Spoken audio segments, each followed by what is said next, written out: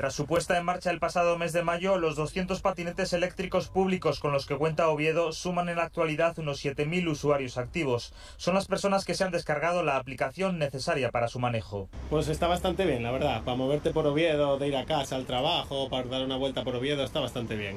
Hay muchos por Oviedo, muchos puntos, entonces bastante bien.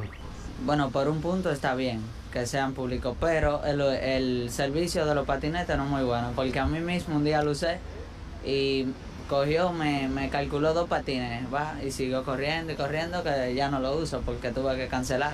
El 80% de la flota se utiliza diariamente a una media de dos viajes y medio por patinete. El centro, las universidades o el entorno de Lucas son las zonas de mayor demanda. Los usuarios son en su mayoría gente joven que utiliza este servicio sobre todo los fines de semana.